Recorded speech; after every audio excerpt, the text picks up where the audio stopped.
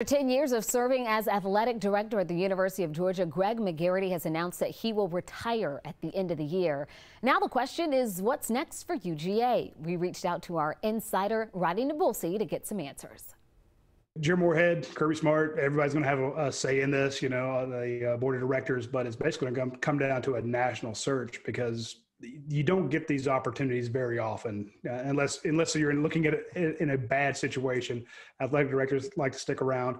So they're probably you know look at arthur johnson you know look at uh, folks all across the uh, nation. I'm sure josh brooks will get a look. Uh, but this is going to be a nationwide search to find the best and brightest person to advance the university of georgia.